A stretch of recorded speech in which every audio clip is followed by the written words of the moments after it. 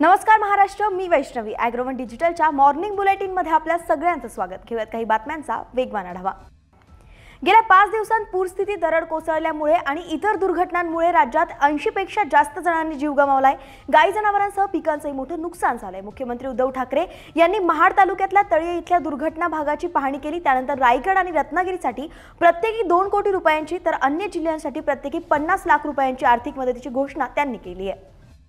खानदेशात यंदाच्या मृगबहारातल्या नव्या केळी पिकाची वाढ बऱ्यापैकी आहे. यंदा लागवड सुमारे एक हजार हेक्टरनं वाढल्याचा अंदाज असून शेतकरी प्रतिबंधात्मक उपाय म्हणून बुरशीनाशक देण्यासह खतही देत आहेत खानदेशात यंदा मृगबहार आणि कांदेबाग असं एकूण त्रेपन्न ते पंचावन्न हजार हेक्टरवर केळी पीक असणारे. पिकात यंदा कुकुंबर मोझॅक विषाणू दिसत नसला तरी जिथं कंद लागवड झाली आहे त्या भागात पाच ते सहा टक्के क्षेत्रात बुंधा चढची समस्या दिसत असल्याचं शेतकऱ्यांचं म्हणणं आहे. राज्यात अतिवृष्टीमुळे मोठं नुकसान झालंय. विशेषतः महाराष्ट्रातल्या रायगड रत्नागिरी सिंधुदुर्ग सातारा सांगली आणि कोल्हापूर या सहा जिल्ह्यांना मोठा फटका बसला असून यात सर्वसामान्य जनतेचं आणि शेतकऱ्यांचं प्रचंड नुकसान झालंय.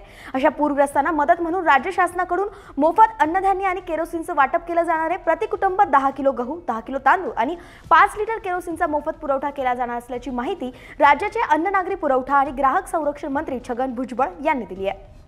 खानदेशात यंदा नापेर क्षेत्र वाढणारे एकटं नंदुरबारात पावसाचा खंड पडल्यानं सुमारे वीस ते बावीस हजार हेक्टर क्षेत्र नापेर राहणार. आहे तर पाऊस लांबल्यानं सोयाबीनची पेरणी देखील घटली आहे तिथं आता ताग बाजरी मका आणि तूर पेरणीचं आवाहन कृषी विभाग करत आहे पण अद्यापही पाऊस नसल्यानं शहादा ताळोदा आणि नवापूर भागातले अनेक शेतकरी क्षेत्र नापीक ठेवण्याचं नियोजन करत आहेत त्यामुळे खानदेशातलं नापेर क्षेत्र सुमारे सत्तर ते पंच्याहत्तर हजार हेक्टरवर जाण्याचा अंदाज आहे.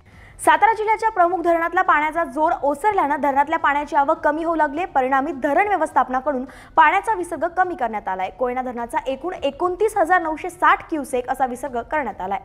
कोकण आणि घाटमाथ्यावर गेल्या आठवडाभर मुसळधार पाऊस पडलाय. मुसळधार पावसानं रायगड रत्नागिरीसह कोल्हापूर सातारा सांगली जिल्ह्यात पूरस्थिती निर्माण झाली आहे तर येत्या पंधरा दिवस पावसाचा जोर कमी राहणार असून राज्याच्या अनेक भागात पावसाची उघडीप राहील. कोकण घाटमाथ्यावर कमी अधिक प्रमाणात पाऊस सुरूच राहण्याचा अंदाजही हवामान विभागानं वर्तवलाय.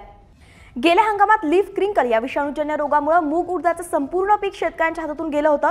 शेतकऱ्यांसोबत केलेल्या चर्चेदरम्यान यंदाही काही ठिकाणी मुगाच्या पिकावर या विषाणूजन्य रोगाचा प्रादुर्भाव अकोला जिल्ह्यात आढळून आलाय. डॉक्टर पंजाबराव देशमुख कृषी विद्यापीठातल्या तुकडीनं केलेल्या संयुक्त पाहणीत अकोला अकोट तेल्हारा तालुक्यात हा प्रादुर्भाव आढळलाय. तर साधारणपणे ऐंशी ते पंच्याऐंशी टक्के मुगाचा पेरा हा विशिष्ट वाणाचा आहे.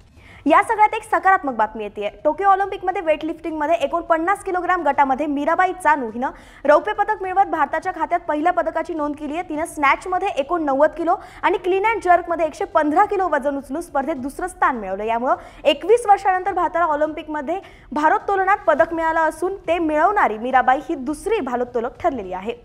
यासोबतच आजच्या मॉर्निंग बुलेटिनमध्ये इथेच थांबूयात. दिवसभरातील शेतीशी निगडीत प्रत्येक अपडेट जाणून घेण्यासाठी पाहत रहा ॲग्रोवन डिजिटल.